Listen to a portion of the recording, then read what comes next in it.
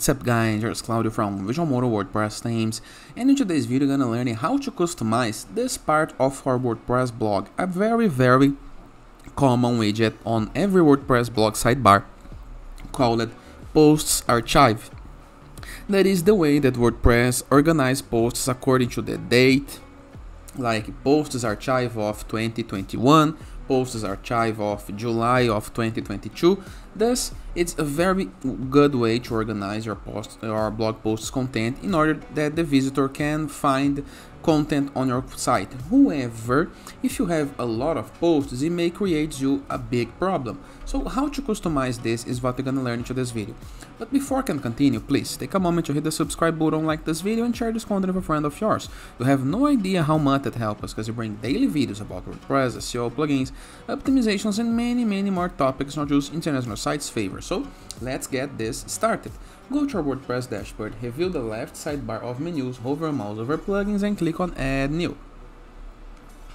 Into the upper right corner, please review the part next to keyword called search plugins.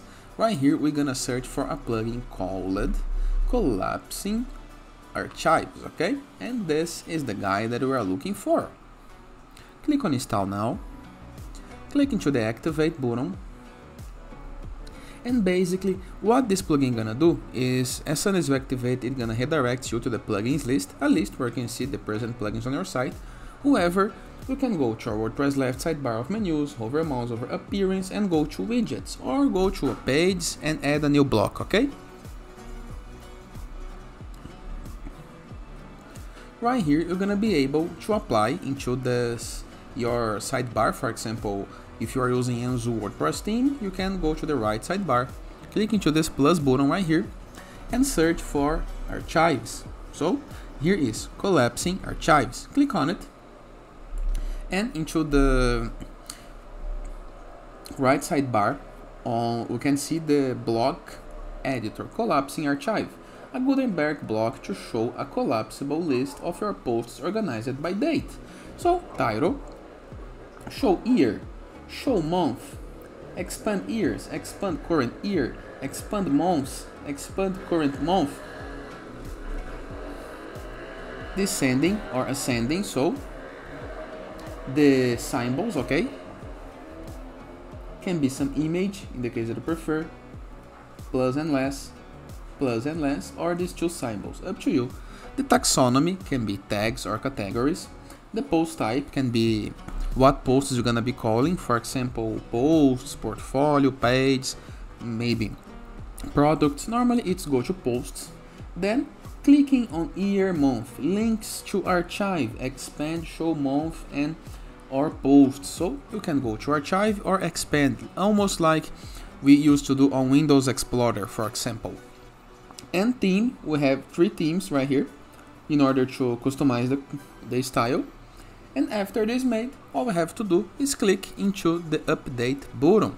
Now we have this little posts archive right here that works almost like Windows Explorer, as you can see. Simple, easy, and effective. And of course, you can apply into any page you want using the blocks editor or Gutenberg.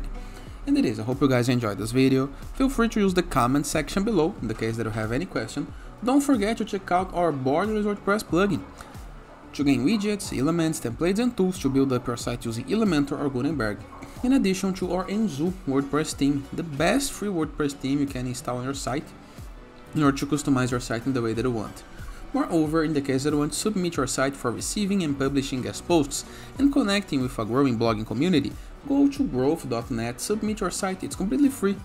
And as a final nutsie, in the case that you want to go premium and unlock full access to our templates library, Go to purchase the Visualmodo Pass, and unlock access to our premium icons, widgets, blocks, templates, support, and a hundred or even a thousand of pre-built websites that you can import with a single click and have your site ready from the beginning.